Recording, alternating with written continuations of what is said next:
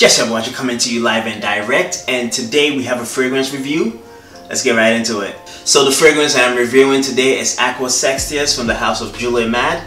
Now I was putting together my um, top 10 summer fragrance list and um, it came to my attention that I actually haven't reviewed this scent. I think I got it about a summer ago or two summers ago and you know, it's about time. And I also got a reminder from one of you to review this, so that's very necessary, so we had to do this. So with that being said, let's take a look at the presentation. So for the presentation, this comes in a white box, kind of pulls up this way. It's, um, I believe, yeah, 50 ml eau de parfum concentration. Now the box, um, the bottle, very, very gorgeous. I really like it. It's kind of two-toned. It has like clear on the front and like towards the back, like halfway through you can see that it's like kind of frosted on the back, really neat. Very simple presentation. See-through, Jul et Mad at the front, Aqua Sextius. Very, very simple. So with that being said, let's get into the notes. Actually, before we get into the notes, I should mention um, this, I believe it only comes, the largest size is 50 ml, but there's also um, there's also an option that comes with a coffret and like a travel spray. But um, that's significantly more expensive than just this with the, um, the just the bottle and the box. So that's the one I opted for. So for the notes at the top, we have a gang of citruses. I mean, we have mandarin orange, bergamot, grapefruit, mimosa. Um, yeah, the notes that stand out at the top to my nose are the grapefruit and the mimosa note. And at the mid, we have um, we have some um, marine notes, sea notes, aquatics, whatever you want to call it. Um, some white florals, some pine needles. And at the base, there are a bunch of notes there too. I believe there's some amber, there's some cedar, there's some musk, but musk stands out to me at the base. So when you first spray Aqua Sextius, I mean on initial blast, you get like, it's a very complex scent to be honest, very very well blended to my nose. On initial blast, I just get this, um, I get this, um, obviously there's a grapefruit there, there's, um, there's a gang of citruses at the top, bunch of citrus notes, but what stands out to me is the grapefruit,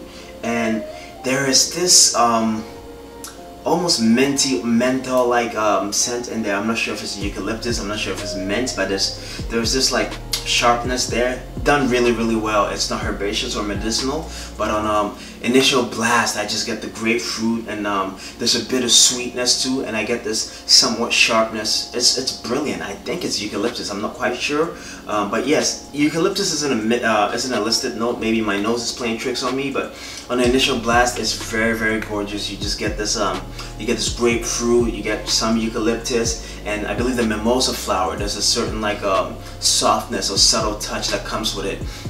Also as time goes on actually maybe like 15 20 minutes into it like the aquatic notes just start showing up and like the first about four hours or so you just get this um, amazing complex scent with the grapefruit and then you have the aquatic elements in there and there's also like a slight um, soft touch from the mimosa note there. Very very very gorgeous scent.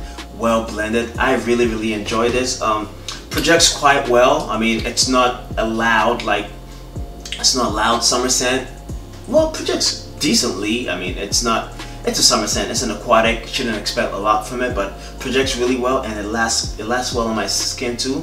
First three four hours projects really well. Then you know it's pretty moderate there. So I mean, as far as performance goes, I have no complaints. It does really well, but the scent the scent is quite complex and I enjoy it. I really really enjoy how it was developed.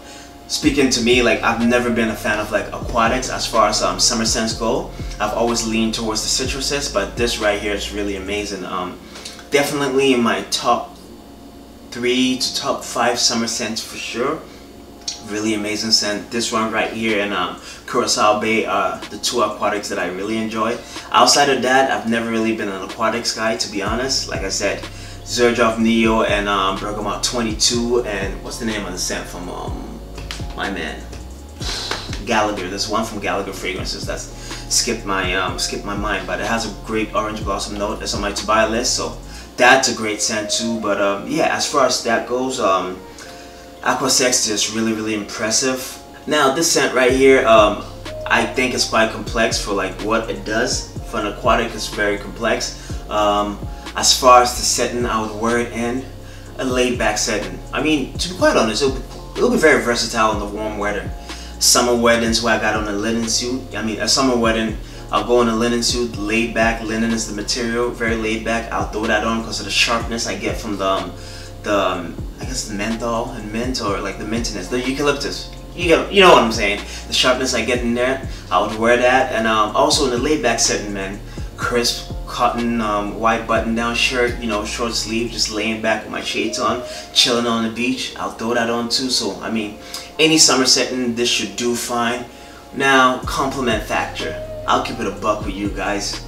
I stopped caring about compliments a while ago. I know that's what got me into the fragrance game and exploring the scents, but after a certain age or after a certain while, after you develop your character as a man, you got way more things to offer and way more things to say that compliments. I mean, they're cool, they're nice to get, but compliment factor of a fragrance doesn't really um, isn't a driving factor. But will it get you compliments? I haven't paid attention when I'm wearing this, to be honest, but it's a pleasant scent. I enjoy it. I've been complimented a couple of times actually, but I haven't kept track of things like that. But I mean, I just went on a whole rant about compliments and the whole thing that goes there. But initially, that's what got me in the door, and there's nothing wrong with chasing compliments, but I've gotten to a point in my life where I just, I, there are the cool things about me, so compliments really don't matter, but um, it's a great sam sample before you buy. Anyways, if I told you this was a compliment magnet and it will get you all the attention in the world, and you bought it and you were disappointed, I'll still think um, I'm not to be blamed. So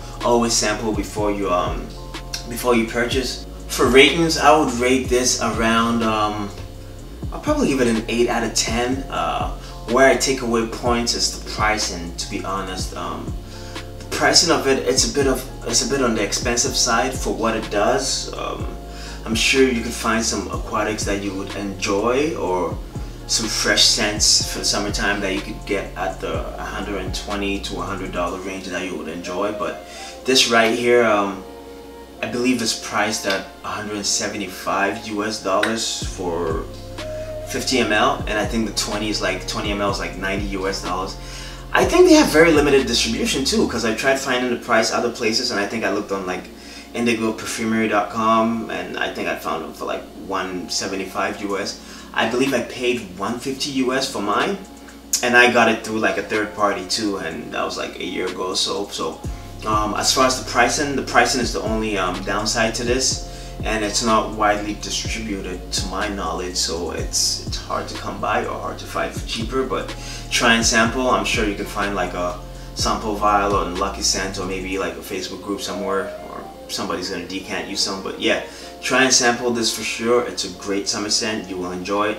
Outside of the price to be honest it's a great scent. I enjoy it. So um, yes Aqua Sextius amazing amazing summer scent really sample it. And if you've tried it let me know in the comments below. I'm really curious to see what you guys think about it. And also is there like is there almost like a minty like a menthol feel to it? A very it's very well done. It's not it's not anything like discouraging about it. Does anybody like smell that in there? Like maybe there's like an, an unlisted eucalyptus note or my nose is playing tricks on me.